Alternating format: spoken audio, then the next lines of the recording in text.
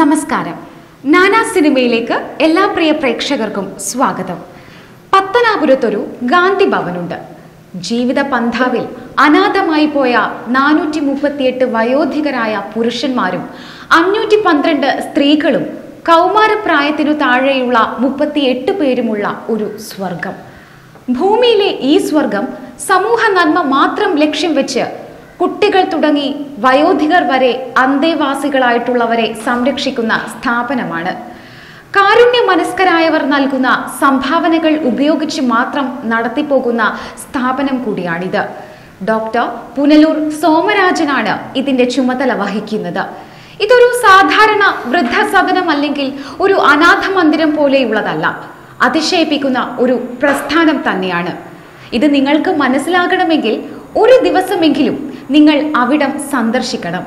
ഇരുന്നൂറ്റി അമ്പതിലധികം മലയാള സിനിമകളിൽ അഭിനയിച്ചിട്ടുള്ള T P Madhavan എന്ന സിനിമാ താരം പോലും അവിടത്തെ അന്തേവാസിയാണ്. പ്രേക്ഷകർ കരുതുന്നുണ്ടാവും നാനാ സിനിമയിൽ എന്താ ഗാന്ധി ഭവനെ കുറിച്ച് പറയുന്നതെന്ന്. പറയാം. ഈ ഗാന്ധി ഭവനിൽ അനേകം കലാകാരന്മാർ കടന്നു വന്നിട്ടുണ്ട്. എന്നാലിപ്പോൾ ഏറെ ശ്രദ്ധ പിടിച്ചു പറ്റിയിരിക്കുന്നത് യുവാക്കൾക്കിടയിൽ ഒത്തിരി ആരാധകരുള്ള കീബോർഡിസ്റ്റും സംഗീത സംവിധായകനുമായ സ്റ്റീഫൻ ദേവസിയാണ് അദ്ദേഹം ഇവിടം സന്ദർശിക്കുകയും അവിടെയുള്ളവരോട് അദ്ദേഹം പുലർത്തിയ മൃദു സമീപനവും അവർക്ക് നൽകിയ വലിയ പിന്തുണയുമാണ് അദ്ദേഹത്തെ ഇപ്പോൾ വ്യത്യസ്തനാക്കുന്നത്. ഞാൻ പറയുന്നതിനേക്കാൾ നിങ്ങൾ അദ്ദേഹം പറഞ്ഞ കാര്യങ്ങൾ കേൾക്കുന്നതായിരിക്കും നല്ലത്. അദ്ദേഹത്തിന്റെ വാക്കുകളിലേക്ക്. ദൈവം പല രീതിയിൽ വരും. അത് വ്യക്തികളായിട്ട് വരും.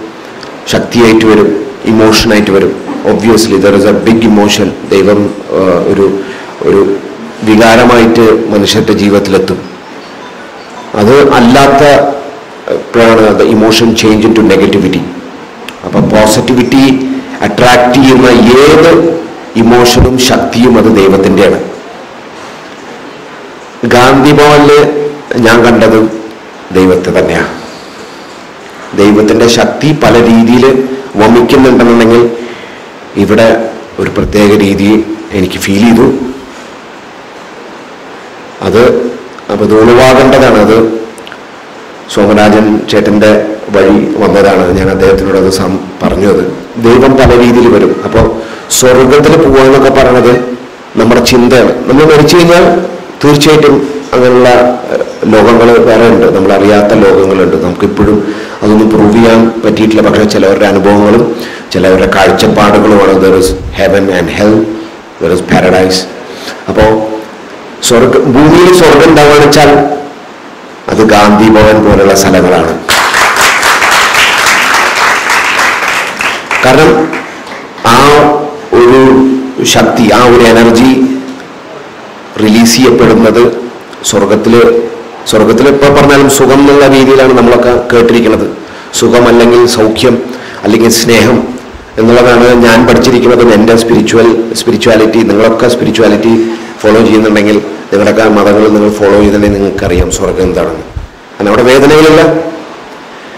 മാനുഷികമായിട്ടുള്ള വേദനകളുണ്ടെങ്കിലും മാനസികമായിട്ടുള്ള വേദനകൾക്ക് ശമനമുണ്ടെങ്കിൽ അത് സ്വർഗമാണ് ഈ ഭൂമിയിൽ അങ്ങനെ ഒരു കുഴപ്പമുണ്ട്. ഭൂമിയിൽ മനുഷ്യന്മാർ we are all incapable people നമുക്ക് എല്ലാം നമുക്ക് പ്രതിസന്ധികൾ അല്ലെങ്കിൽ നമുക്ക് ലിമിറ്റേഷൻസ് ഉണ്ട്. എപ്പോഴും ഒരു മനുഷ്യന് ലിമിറ്റേ ലിമിറ്റഡ് ആണ്. വി ആർ ഓൾ ലിമിറ്റഡ് നമുക്ക് കാഴ്ചപ്പാട് ഇപ്പോൾ അമേരിക്കയിൽ പോകണമെന്നുണ്ടെങ്കിൽ നമുക്ക് മനസ്സെത്താം പക്ഷെ ശരീരം എത്തൂല. ശരീരത്തിലെന്തായാലും we need to take a flight അപ്പോൾ ലിമിറ്റേഷൻസിന്റെ അറുതിയിലാണ് മനുഷ്യന്മാർ ജീവിക്കുന്നത്. അപ്പോൾ അങ്ങനെയുള്ളവർക്ക് വേദനകൾ ഉറപ്പാണ് അല്ലെങ്കിൽ എന്താ പറയുക നമ്മുടെ ശരീരം നമ്മുടെ ജീവനിൽ നിന്ന് വ്യത്യാസപ്പെടണം. അപ്പോൾ എന്താ ശരീരം മാറിക്കഴിഞ്ഞ് കഴിഞ്ഞാൽ പിന്നെ ആത്മാവിന് വേദന ഉണ്ടാവില്ല. ആത്മാവിന് എന്ന് പറയുന്നത് ഒരു ന്യൂട്രൽ എഫക്റ്റാണ് എപ്പോഴും ഒരു ആത്മാവ്. അപ്പോൾ മനുഷ്യൻ വേദന ഉണ്ടാകിൽ ആ വേദന ശമിപ്പിക്കുന്ന ഒരിടം സമാധാനം കൊടുക്കുന്ന ഒരിടം ഭക്ഷണം കൊടുക്കുന്ന ഒരിടം വസ്ത്രം കൊടുക്കുന്ന ഇടം പാർക്കാൻ ചെറിയ പാർപ്പിടമുള്ള സ്ഥലം എന്നും സ്വർഗം തന്നെ. So I just want to say that thank you for the one amazing thing that what Gandhi Bhavan is doing Somarajan chettan ചെയ്യുന്നത്. നന്ദി പറയേണ്ട ഐക്യമുള്ളത് അദ്ദേഹം അദ്ദേഹത്തിന്റെ കർത്തവ്യം ചെയ്യുന്നത് മാത്രമേ ഉള്ളൂ എനിക്ക് തോന്നുന്നത്. ഇത് മനുഷ്യന്മാരെല്ലാവരും ചെയ്യേണ്ടതാ ഇത് തിരിച്ചറിയാത്തതിന്റെ ഒരു കുഴപ്പമാണുള്ളത് അദ്ദേഹം ചെയ്യുന്നത് അദ്ദേഹത്തിന് ദൈവം കൊടുത്തിട്ടുള്ള ഒരു വിഷനാണ് നമുക്കൊക്കെ വിഷയമുണ്ട് പക്ഷേ നമ്മളത് ഉപയോഗിക്കുന്നുണ്ടോ ഇല്ലയോ എന്നുള്ളത് വേണം. പിന്നെ നമ്മൾ വിശകലനം ചെയ്യാൻ. അത് വേറൊരു പാർട്ടാണ് I do want to speak about it ഇന്ന് ഞാനിവിടെ വരാൻ കാരണം കാഫ് കേരള ആർട്ടിസ്റ്റ് ഫ്രട്ടേണിറ്റിയിൽ ഞാൻ കൊല്ലം ജില്ലയുടെ ഒരു മീറ്റിംഗ് നടക്കുമ്പോഴാണ് ഒരു അദ്ദേഹം പറയുന്നത്. ഗാന്ധി ഭവൻ എന്നുള്ള പേര് ആദ്യമായിട്ട് ഞാൻ കേൾക്കുന്നത്. അത് കഴിഞ്ഞ് പ്രിയ ചേച്ചി എന്റെ അടുത്ത് ഗാന്ധി ഭവനെ പറ്റിയിട്ടും കുറേ കാര്യങ്ങൾ എന്നെ എനിക്ക് എന്റെ അടുത്ത് സംസാരിച്ചു. അപ്പോൾ എനിക്കൊരു ആഗ്രഹം തോന്നി ഇവിടെ വരണം. ഞാൻ ഇങ്ങനെയുള്ള സ്ഥാപനങ്ങളിൽ പോയിട്ടുണ്ട്. ഞാൻ അവിടെ പ്രോഗ്രാം അവതരിപ്പിക്കാറുണ്ട്. ഞാൻ ഏകദേശം ഒരു അറുപതോളം ചാരിറ്റബിൾ ഓർഗനൈസേഷൻസിൽ എനിക്ക് ആക്സസ് ഉണ്ട്. നിലയിൽ എൻഡോഴ്സ് ചെയ്യാൻ അംബാസിഡറാണ് പല സംഘടനകളിലും ഞാൻ പോയി. നമ്മുടെ തൊഴിൽ സംഗീതമായതുകൊണ്ട് എപ്പോഴും സംഗീതമായിട്ട് ഞാൻ അങ്ങോട്ട് പോകാറുണ്ട് ഗാന്ധി ഭവന് ഞാൻ എന്റെ നാട്ടിലുണ്ടെങ്കിൽ പോലും എനിക്ക് എന്റെ അറിവുകേടായിട്ടാണ് തോന്നുന്നു ഞാൻ അറിയാൻ പറ്റിയില്ല. പക്ഷേ ഇന്ന് ഞാൻ അതിനെപ്പറ്റി അറിഞ്ഞു. ഞാനിതെല്ലാം അനുഭവിച്ചു. അപ്പം അതുകൊണ്ട് എനിക്ക് സോമരാജൻ ചേട്ടനോട് പറയാനുള്ളത് നിങ്ങളുടെ മെമ്പേഴ്സിന്റെ ലിസ്റ്റിൽ എന്നെയും കൂടി ഉൾപ്പെടുത്തണം. അപ്പം ഞാനിതിലൊരു അതിഥിയായിട്ട് എനിക്ക് വരേണ്ട ആവശ്യമില്ല. ഞാനൊരു ഈ ഭവനത്തിലെ ഒരു മെമ്പർ എന്നുള്ള രീതിയിൽ മാത്രം നിങ്ങൾ എന്നെ കൺസിഡർ ചെയ്താൽ മതി. I just want only that ഇവിടുത്തെ പ്രവർത്തനങ്ങളൊക്കെ എനിക്ക് ചെറുതായിട്ട് എനിക്ക് ചെറിയ സമയം കൊണ്ട് എനിക്ക് കാണാൻ പറ്റി. കുറേ ദൈവത്തിന്റെ ശക്തി ആദൃശ്യമായിട്ട് പല രീതിയിലും ഇവിടെ കണ്ടു. അത് അങ്ങനെ തന്നെ പോട്ടെ. അതും അതിനെ ഇനി ഇതിനെക്കാട്ടിലും കൂടുതലായിട്ട് വളരട്ടെ എന്ന് ഞാനും ആത്മ ആത്മാർത്ഥമായി പ്രാർത്ഥിക്കുന്നു ആശംസിക്കുന്നു. ഞാൻ നേരത്തെ കഫിന് കഫിനെ പറ്റി സംസാരിച്ചു. കഫ് ഒരു ഒന്നര രണ്ട് വർഷമായിട്ട് ഞങ്ങളൊരു ചാരിറ്റി ഓർഗനൈസേഷൻ പക്ഷെ ചാരിറ്റി എന്ന് ഞാൻ ഒരിക്കലും പറയില്ല. കാരണം ഞാൻ അതിൽ ഉൾപ്പെടുന്ന ഒരു വ്യക്തിയാണ്. ഞാൻ അതിലൊരു മെമ്പറാണ് അപ്പൊ എനിക്ക് ഒരിക്കലും ചെയ്യാൻ പറ്റില്ല. ഞാൻ എനിക്ക് വേണ്ടി എന്തിനാ ചാരിറ്റി ചെയ്യുന്നത്? ഞാൻ ഞങ്ങൾ നമ്മൾ നമുക്ക് വേണ്ടിയിട്ടുള്ള ഒരു കർത്തവ്യം ചെയ്യുന്നതെന്നുള്ളൂ. കലാസംഘടന കലാകാരന്മാരെ ഒരുമിച്ച് നിർത്താനുള്ള ഒരു കർത്തവ്യമാണ്. അതൊരു റെസ്പോൺസിബിലിറ്റി ആയിട്ടാണ് ഞാൻ ഏറ്റെടുത്തിരിക്കുന്നത്. അല്ലാതെ ഞാൻ കുറെ നന്മ ചെയ്യും അങ്ങനെ ഒരു ചിന്ത എനിക്ക് ഇതുവരെയും ഉണ്ടായിട്ടില്ല. ഇനി ഉണ്ടാവാതിരിക്കട്ടെ. ഇത് തന്നെയായിരിക്കാം ഗാന്ധി പോലുള്ള എല്ലാ വ്യക്തികളും ചെയ്യുന്നത്. Because it they are not doing charity they are doing the responsibility അല്ലേ? ഞാൻ പറഞ്ഞത് ശരിയാണെന്നറിയില്ല I think it's a responsible every human is responsible for another fellow being കൂടെ ജീവിക്കുന്നവരെ നോക്കുക എന്നുള്ളത് നമ്മുടെ റെസ്പോൺസിബിലിറ്റിയാണ് അത് ചെയ്തില്ലെങ്കിൽ മനുഷ്യൻ മനുഷ്യന്റെ പൂർണതയിലേക്ക് എത്തില്ല എന്നാണ് എനിക്ക് തോന്നുന്നത്. It will be incomplete incomplete ആയിരിക്കും മനുഷ്യന്റെ പൂർണത എന്ന് പറയുന്നത്. സ്വന്തം തൊഴിൽ ചെയ്യുക അങ്ങനെയാണെങ്കിൽ എനിക്ക് കല മാത്രം കണ്ടാൽ മതിയായിരുന്നു. എനിക്ക് സ്റ്റേജ് മാത്രം കണ്ടാൽ മതി. എനിക്കത് ആഗ്രഹമില്ല. പക്ഷെ എന്നെ പഠിപ്പിച്ചിരിക്കുന്നതും എന്റെ അച്ഛനമ്മ എന്നെ പഠിപ്പിച്ചിരിക്കുന്നതും ദൈവം എനിക്ക് തന്നിട്ടുള്ള കാഴ്ചപ്പാടുകളും അത് തന്നെയാണ്. If you want to be a complete human you understand others try to understand others അതാണ് ഞാൻ പഠിച്ചിരിക്കുന്നത്.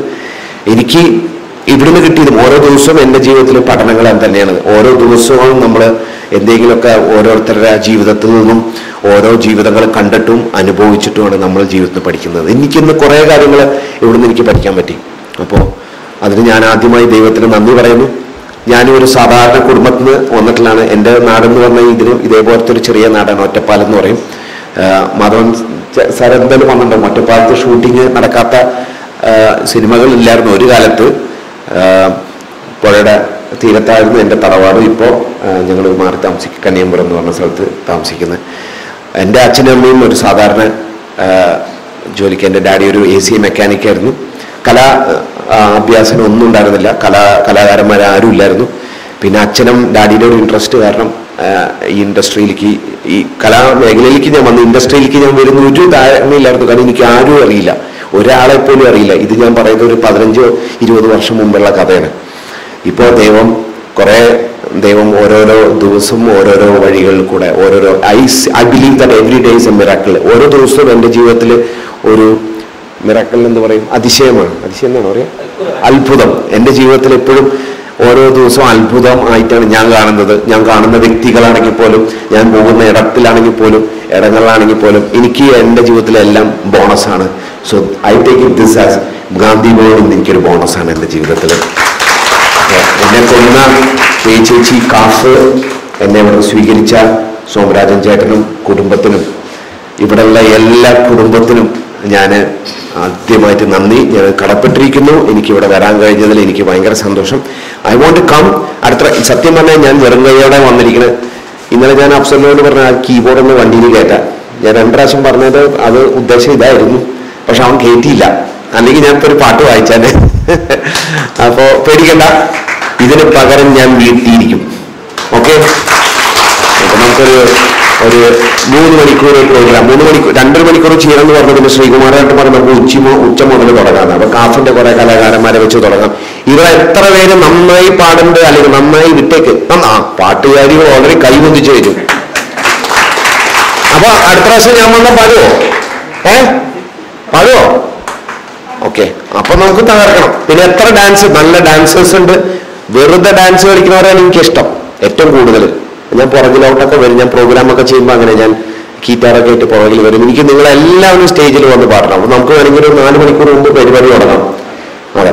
എന്നിട്ട് നിങ്ങളെ പാട്ട് പാടി എന്റെ പ്രോഗ്രാമിനെ എങ്ങനെ വെച്ചാൽ ഞാൻ പറയും നിങ്ങൾ കാണികളല്ല നിങ്ങളും പ്രോഗ്രാം അവതരിപ്പിക്കുന്നവരാണ് അപ്പോൾ കാണികളായിട്ട് ഇരിക്കണേ എനിക്ക് ഒരു താല്പര്യമില്ല. നിങ്ങൾക്ക് എന്റെ കൂടെ വന്ന് പാടാം. നിങ്ങൾക്ക് എന്റെ കൂടെ വന്ന് ഡാൻസ് കളിക്കാം.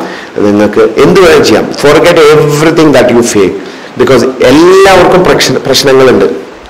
ലോകത്തിലെ ഏറ്റവും ധനികനായ ബിൽഗേറ്റ്സിന് പോലും പ്രശ്നങ്ങളുണ്ട്. അപ്പോൾ പ്രശ്നത്തിനെ പറ്റിയിട്ട് നിങ്ങൾ ടെൻഷൻ അടിക്കണ്ട. സാധാരണക്കാരനും രാഷ്ട്രീയക്കാർക്കും പോലീസുകാർക്കും കലാകാരന്മാർക്കും എല്ലാവർക്കും പ്രശ്നമുണ്ട്. അപ്പോൾ പിന്നെ നിങ്ങളുടെ കാര്യം പറയേണ്ട ആവശ്യമില്ല. അപ്പൊ അതുകൊണ്ട് അടുത്ത പ്രാവശ്യം ചെയ്താലോ? ഓക്കെ അത് മതി. ടി പി മാധവൻ സാറിനെ കണ്ടതിൽ എനിക്ക് സന്തോഷം. മനസ്സ് നിറഞ്ഞു സാർ. പിന്നെ സാറ് ഒന്ന് ഞാൻ പറയാം. അത്രയും നാൾ സാറ് പല സ്ഥലത്താണെങ്കിൽ ഇപ്പൊ സാറ് സേഫാണ് അതാണ് എനിക്ക് പറയാനുള്ളത്. Now you are safe sir ഏറ്റവും സുരക്ഷിതമായ കൈകളിലാണ് ഇരിക്കുന്നത്. അതുകൊണ്ട് എനിക്ക് സന്തോഷം കൂടിയിട്ടുള്ളൂ സാർക്ക് ആയുസ്സും ആരോഗ്യവും ഞാൻ ആശംസിക്കുന്നു. സോമനാഥൻ സാർക്കും കുടുംബത്തിനും എന്റെ ആശംസയും. ഞാൻ ആയുരാരോഗ്യ സൗഖ്യം നേരുന്നു. ഇനിയും ഇങ്ങനെയുള്ള കുറേ കാഴ്ചപ്പാടുകൾ വരാനുണ്ട്. സാറിൽ കൂടെ കൈകൾ സാറിന്റെ കൈകൾ കൂടെ ഇനിയും കാര്യങ്ങൾ വരാനുണ്ട്. അതുകൊണ്ട് ആരോഗ്യം ശ്രദ്ധിക്കുക. അത് മാത്രം മതി. ബാക്കിയൊക്കെ പുറകെ വന്നോളൂ. ഗ്രേറ്റ് ഓണർ സാറിന് പിന്നെയും നേരിട്ട് കാണാൻ പറ്റിയ വലിയ സന്തോഷം. വർത്തനം അധികം ഓറാക്കുന്നില്ല. അപ്പോൾ വീണ്ടും പെട്ടെന്ന് കാണാം. നല്ല ഗായകർ എല്ലാവരും എല്ലാം കോർഡിനേറ്റ് ചെയ്ത എല്ലാവർക്കും from the camera to the top and to every one once again sincere regards and thanks God bless you all കേരളത്തിൽ ഇന്ത്യയിൽ ഇത്തരത്തിലുള്ള കലാകാരന്മാരാണ് വരേണ്ടത്. ആരുമില്ലാത്ത തെരുവുകളിൽ ഉപേക്ഷിക്കപ്പെട്ട അനാഥരായവരെ ഈ രീതിയിൽ കാണാൻ ഒരു കലാകാരന് മാത്രമേ കഴിയൂ. ഇതാണ് ലോകമെമ്പാടുമുള്ള മലയാളികൾ പ്രോത്സാഹിപ്പിക്കേണ്ടത്. ഈ നന്മയുടെ തുരുത്തുകൾ വറ്റാൻ പാടില്ല. ഇതൊക്കെയാണ് കേരളത്തെ മറ്റു സംസ്ഥാനങ്ങളെ അപേക്ഷിച്ച് വ്യത്യസ്തമാക്കുന്നത്.